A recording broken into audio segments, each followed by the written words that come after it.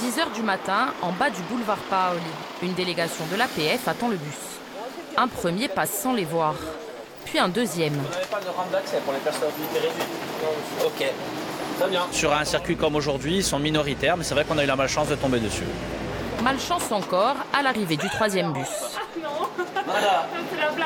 Je serais encore plus, plus en colère s'il pleuvait.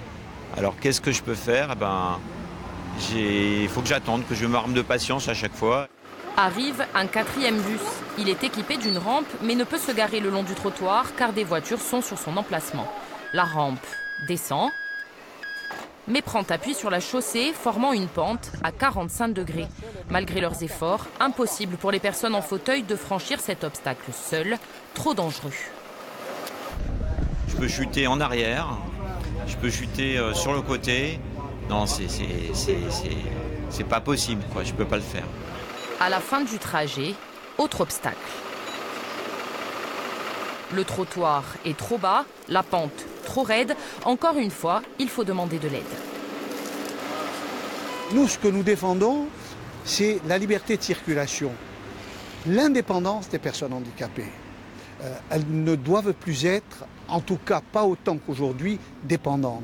Et dans un parcours normal, simple, euh, d'un point à une autre d'une ville, on doit pouvoir se déplacer seul, et ce n'est pas le cas. On est même loin du compte, car à 20 mètres de là, c'est le trottoir qui est en pente, les fauteuils sont pris au piège. Pourtant, l'association a choisi une destination symbolique, l'hôpital de Bastia. Force est de constater que ni les transports en commun, ni l'hôpital de Bastia, ni euh, les personnes en responsabilité de la circulation et de la voirie en ville euh, ne sont en capacité de proposer un circuit adapté et aménagé pour ces personnes. Pour lutter contre les incivilités, la mairie annonce qu'elle renforcera la signalétique des arrêts de bus et donnera consigne aux policiers municipaux de verbaliser les contrevenants. La CAB, en charge des transports, renvoie à son plan d'action sur l'accessibilité.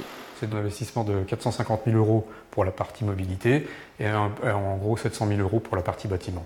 Donc au bout de trois ans, comme ça a été validé au cours euh, des différents schémas, euh, la CAB sera à la fois en accessibilité garantie sur ses bâtiments et sur son réseau de, de bus. Des efforts appréciés, mais encore et toujours insuffisants. Malgré tout, ils veulent garder espoir. Donc j'ai essayé de monter à l'église.